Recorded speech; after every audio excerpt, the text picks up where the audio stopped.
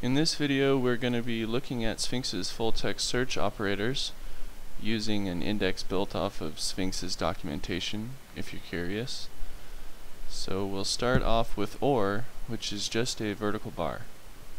Real or plain. We remove the vertical bar and have a space which is the implicit AND operator. Add an exclamation mark or a dash and we have not, real not plain and we can do fielded search. We'll search through the title field for plain or search for plain not occurring in the title field. Then we can try within the first three terms of the title field.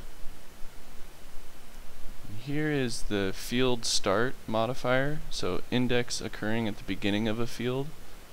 And here's the field end modifier, where operators is occurring at the end of a field. Now let's look at the before operator. So real before time, before index.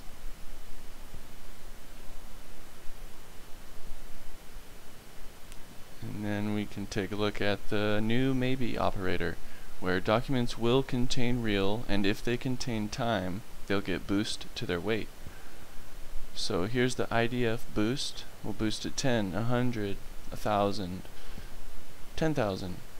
Just showing you how to boost terms even further.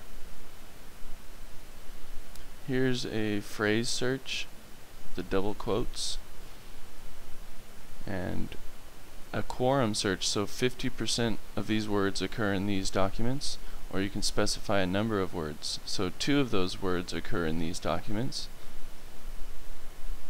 Now proximity search, so a maximum of three words can exist in between the whole span, which is different than near, where you can specify more fine-grained. So three words can occur between time and index, and three words can occur between real and time. You could also put sub-expressions on either side of near. That about covers it. There are a few more that we didn't cover, but go take a look at the documentation. It's easier to see if you're reading. I just wanted to point it out and show you that it works. So thanks for watching, and